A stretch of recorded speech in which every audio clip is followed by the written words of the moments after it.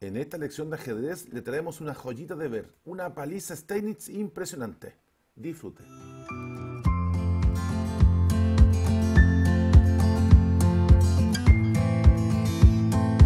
Amigos ajedrecistas, espero que estén bien, cuidándose esta pandemia. Si sale distancia y mascarilla, si no quédese en casa, cuidándose y estudiando ajedrez, disfrutando el ajedrez de Chess Tour. Que aquí le tenemos una partida maravillosa del año 1866. Una partida extraordinaria entre Henry Bird y William Steinitz, donde el maestro Bird le da una paliza de aquellas a Steinitz, increíble. No olvide suscribirse en el canal, invitar a sus amigos para que la comunidad de ajedrez crezca y se pueda apoyarnos con PayPal. Fantástico para traerle ajedrez más tiempo y más contundente y mejores partidas. Pero bueno, y esta partida parte con E4, E5, caballo F3, caballo C6, estamos entrando en una Ruy López y ahora derivamos una defensa berlinesa. Y acá las blancas prefieren jugar un D4, el tiro golpeando el centro. Peón por peón.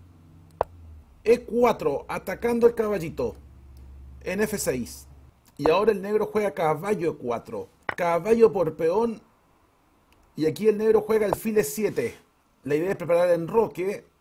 Pero la jugada alfil E7 un poquito pasiva. Parecía más adecuado después de caballo por peón jugar alfil C5 cumple el mismo rol del alfil E7, pero además le está pegando al caballo en D4. Y si C3, defendiendo el punto, en robe corto, dama C2, D5, buen golpe, dejando un caballazo puesto en el centro. Alfil por caballo, peón por alfil, caballo de 2, caballo por caballo, alfil por caballo, dama E7, en robe corto, dama por peón, y el negro tiene un peoncito de ventaja aunque la blanca van a jugar caballo C6 probablemente, el negro está un poquito más activo y con iniciativa. Pero bueno, después de caballo por peón, Steinitz prefiere jugar alfil E7. Y aquí el blanco se enroca y el negro cambia. Steinitz dice, eliminemos los caballos, así no me molesta ese caballo que eventualmente podría estar saltando a F5. Pero después de enroque corto, era más prudente enrocarse. Hice alfil F4, A6 para preguntar al alfil, ¿te comes el caballo te vas? Alfil D3, Caballo C5 tratando de eliminar uno de los alfiles blancos. Caballo F5. Caballo por alfil. Dama por caballo. D5. Y una partida equilibrada. Pero bueno, el tema que después del enroque corto, Steinitz prefiere jugar caballo por caballo, no se enroca. Dama por caballo. Caballo C5 para reubicar el caballo en E6 eventualmente.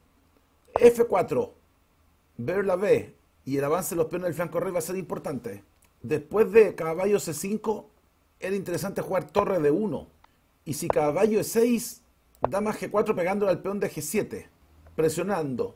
Y si C6, preguntándole al alfil o amenazando al alfil, alfil C4, D5, peón por alfil por, caballo C3. Y el blanco tiene piezas más activas, ¿ah? la partida está equilibrada. La blanca con ventaja de apertura solamente. Después de caballo C5, Bird prefiere jugar F4. Él ve que los peones avanzando pueden ser más peligrosos. Y aquí Steinitz juega B6. Después de F4, interesante era jugar C6. De sacar alfil y después jugar D5. Alfil de 2, enroque corto, torre de 1, caballo E6. Y aquí parece que las negras están teniendo defensa y la energía blanca empieza a decantarse. Pero bueno, en la partida después de F4, Steinitz juega B6. Y ahora juega F5, Bird, con la idea de jugar F6. Y acá Steinitz juega una jugada de café, ¿ah? una movida media chula. Muy básica para su nivel, ¿no? Juega una movida muy de principiante. Juega caballo B3 amenazando la torre pegando a la dama, pero también amenazando jugar al alfil a C5 clavando a la dama porque está aquí el rey. Es una jugada muy básica. Después de F5 se podría haber jugado C6 y el ataque blanco podría haber prosperado después de F6, G por, peón por, alfil F8, vean lo peligroso está el rey en el centro, dama E5, caballo E6, alfil de 3, D5, caballo C3 y el blanco con iniciativa, pero básicamente el problema del negro es que está el rey en el centro, hay líneas abiertas y las piezas blancas están jugando fuerte. Pero en la partida, después de F5, Steinitz juega la dudosa caballo B3. Dudosa mala, en verdad. Y aquí Ver juega tranquila, dame 4. Le toca la torre en A8. Me comes acá, te como acá en A8. Caballo por torre, juega Steinitz. Se pone goloso. Y aquí el blanco, en vez de jugar dama por torre, que es una jugada obvia, recuerde que muchas veces yo le he dicho, no es comer por comer, me comen, te como. También hay que meter la jugada intermedia y eso es lo que hace Bird. Le juega F6. Buenísima movida. Le está pegando al fil, está amenazando el peón G7 y aquí el negro juega el fil C5 jaque. ¿Quieres salir de la presión que tenía el peón en F6? Juega jaque, el rey blanco se va a H1. Otra opción que tenía el negro en vez de jugar alfil C5 era jugar G por F6. Y si peón por peón, alfil B7, increíble, entrega la pieza. Dama por B7, alfil C5 jaque, rey H1, dama C8, pero la verdad que después dama E4, el negro queda bien complicado. ¿ah? Así que no tiene muchas buenas maniobras el negro en esta posición que está inferior. Por eso que después de F6 prefiere jugar alfil C5, jaque. Las blancas no se imbutan, rey H1. Pero ese jaque le da un tiempo al negro para sacar su torre de ataque a dama y juega torre B8. Pero el problema es que después de rey H1, como las negras ya habían capturado una torre, podían haber devuelto la torre pensando en desarrollo. Y en ese sentido era mejor G5 para evitar que el peón entrara a G7. El tema que venía de 6, recuerden que este peón está tocadito por esta alfil, así que está clavado. C6, alfil por peón, D por E6, alfil por peón jaque, alfil de 7, alfil por, dama por, dama por torre, dama de 8, dama C6 y el blanco tranquilo, con ventaja, con iniciativa, con ataque y rey en el centro. Terrible. Pero después de rey H1, el negro juega torre B8 para sacar la torre de la amenaza de dama. Haga una pausa y encuentre el golpe que deja pero reconta tieso a las negras. Corriendo el reloj.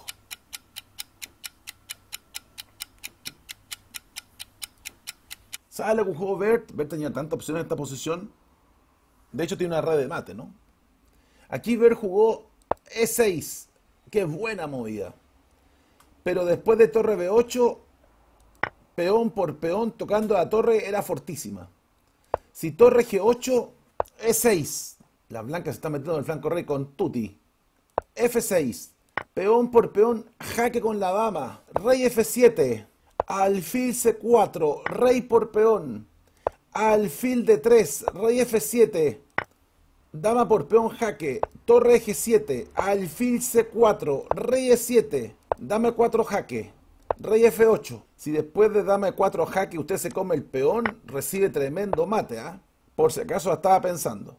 Por eso que después de dama 4 jaque, el rey negro se va a F8. Pero viene torre por peón, torre F7, si después de torre por peón está pensando, pero ¿por qué no dama por torre?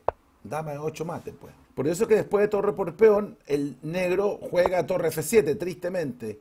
Torre por torre, jaque, rey G8, dama H7, mate. O sea, estaba recontra para la foto el negro, ¿no? Pero bueno, en la partida, después de torre B8 del negro, Bird juega E6. Torre G8 para defender el punto G7, pero en realidad todo está en problema. Si después de 6 el negro jugara, por ejemplo, en rogue corto, bueno, viene simplemente 7 y se cae o la dama a la torre y quedó pirulo pintoso especial. Está recontra perdido el negro, hombre. Por eso que después de 6 el negro juega torre G8 para poner un poquitito de defensa en la destruida casa negra. Dama por peón. Y además se mete la dama en H7 atacando a la torre que no tiene buena defensa y se ve forzada a jugar torre F8, pues. Increíble. Aquí Bird se estaba regodeando, podía jugar peón por peón o peón por peón en G, ¿no? Pero bueno, eligió jugar E por F7, jaque, torre por peón, torre 1, jaque, buena movida. Obviamente que el rey no puede venirse hacia F8 porque le da mate en H8, ¿cierto? Por eso está obligado a jugar alfil E7. Pero ahora Bird ve la joyita, ve cómo pintarse a Steinitz y le juega dama G8, jaque. No tiene mucha opción el negro. Juega torre F8 para cubrirse del jaque. Pero ahora Bird mira Steinitz, toma el peón de F6, lo mueve F7, mirando los ojos de Steinitz y le dice, Checkmate. Brillante mate de Bird. El peón mató al rey porque esta torre en F8 está clavada, no puede moverse. Imagínense lo fantástico de la posición. El rey negro encerrado, la torre atacando a dama blanca, pero no puede impedir el mate del peón en F7. ¿Qué me dice? Fantástico, ¿no? Brillante. Gran ataque de Bird.